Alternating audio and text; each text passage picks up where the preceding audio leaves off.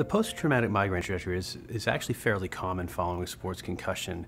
We've published extensive research showing that patients who experience migraine-related symptoms after concussion actually take the longest to recover. Um, that trajectory is, is, is usually associated with symptoms uh, such as headache, light sensitivity, noise sensitivity, nausea, and sometimes dizziness. With neurocognitive testing, we actually find that there's deficits with memory rather than processing speed and reaction time on, on the neurocognitive testing that we do.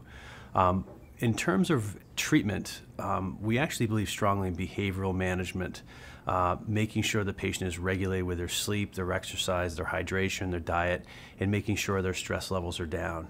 Uh, in some patients with migraine, there may, there may be a vestibular component to the migraine as well. In those patients, we need to treat the vestibular dysfunction first and then treat the migraine.